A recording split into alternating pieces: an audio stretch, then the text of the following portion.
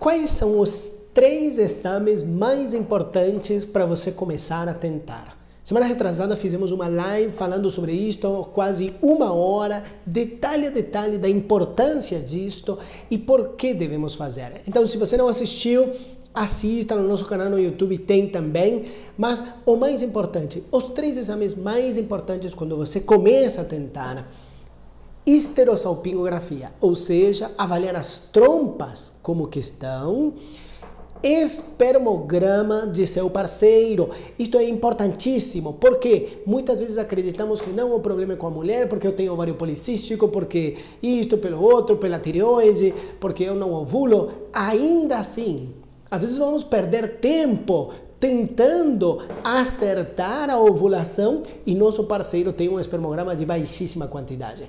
E terceiro, reserva ovariana. Infelizmente, não estão acostumados os ginecologistas a pedir o hormônio antimuleriano. Todo mundo precisa ter hormônio antimuleriano? Todo mundo precisa fazer essa avaliação? Não necessariamente. Mas, se temos dúvidas, né, isto que quer dizer?